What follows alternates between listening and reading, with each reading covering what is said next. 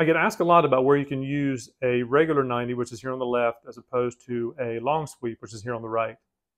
Here in North Carolina, you can actually use them both in the position that they're sitting in when you're receiving waste from a horizontal to a vertical flow. The long sweep is the only one that you can lay down and go horizontal to horizontal or go from vertical to horizontal. The one exception to that rule is you can actually take a 90 under a toilet like this from a vertical to horizontal flow as long as the center outlet of the drain line on the horizontal side is within 12 inches of the floor flange.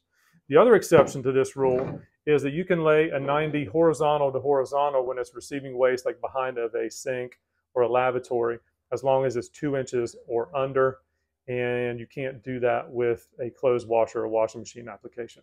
So hope this helps. Like and subscribe if you like content like this.